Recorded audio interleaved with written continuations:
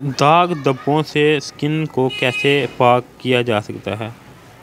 धूप नाकद खुराक और ख़राब सेहत, चेहरे की जल्द को मुतासर करने का सबसे अहम सबब है। इंसानी जल्द हैरत अंगेज़ हफारती रद्दमल रखती है। जल्द की गहराई अंदरूनी तह में खलिया, खलिए मलाइन पैदा करते हैं। जब हम धूप में आते हैं तो मलाइन की मकदार पैदावार में इजाफ़ा हो जाता है। ये अमल जब एक दफ़ा पैदा हो जाता है तो जल्द की बैरूनी तह में आ जाती है और इससे जल्द पर दब्बे पड़ना शुरू हो जाते हैं।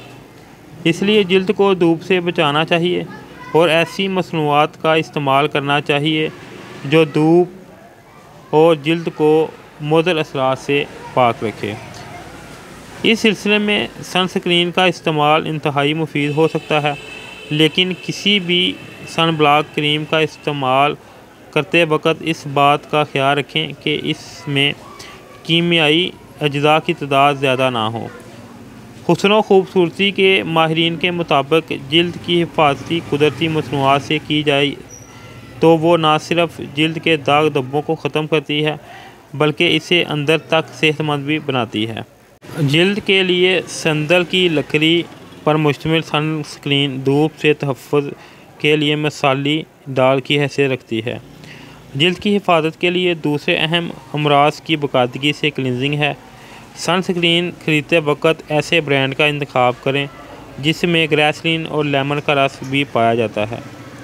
लेमन के रस में मुश्तमिल फेस मास्क लगाने से आप जल्द की तह में छुपे सारे मैल को बाहर निकाला जा सकता है।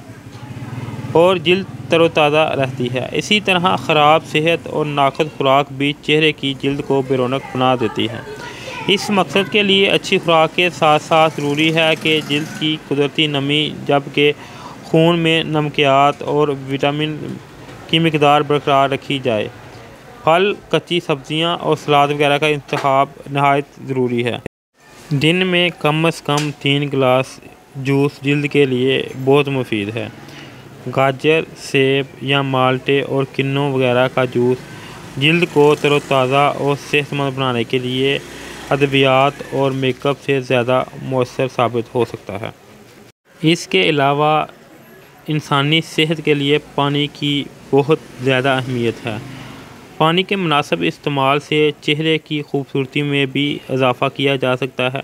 ख़वातीन चेहरे की जल्द को साफ़ सुथराई और शदाबगा बनाने के लिए तरह तरह के जतन करती हैं। तहम सिर्फ़ पानी के चंद गिलास वो काम कर सकते हैं, जिनके लिए ख़वातीन महँगे लोशन और क्रीमें इस्तेमाल करती हैं। पानी हमारी जल्द को कुदरती नमी फ्राहम करता है और लोशन या दीगर मॉइस्चराइजिंग से ज़्यादा हासिल होने वाली नमी इस वका मुकाबला नहीं कर सकती। इस मकसद के लिए वक्फे वक्फे से पानी पीने की आदत बना लें। माहरीन के मुताबिक सिर्फ़ लाइफ स्टाइल में मुस्बत तब्दीली, लाकर चेहरे की तरोताज़गी को बहाल किया जा सकता है। तो नाजिन ये थी मेरी आज की वीडियो जिसमें मैंने आपको बग़ैर किसी क्रीम, लोशन वगैरह के चंद बातें बताई हैं जिनके इस्तेमाल से आप चेहरे के दाग धब्बों को ख़त्म कर सकते हैं या पैदा होने से रोक सकते हैं। तो नाजी इस तरह की मज़ीद वीडियो देखने के लिए आप मेरे चैनल को सब्सक्राइब कर सकते हैं। अगर आपने के माइंड में कोई और इस तरह का सवाल या टॉपिक हो तो आप मुझे कमेंट करके ज़रूर बताएँ। मैं उस पर वीडियो बनाने की कोशिश करूँगा। आखिर में नाजिन अगर आपको मेरी वीडियो अच्छी लगे, इसको लाइक करें, शेयर करें और मेरे चैनल को सब्सक्राइब कर दें। शुक्रिया।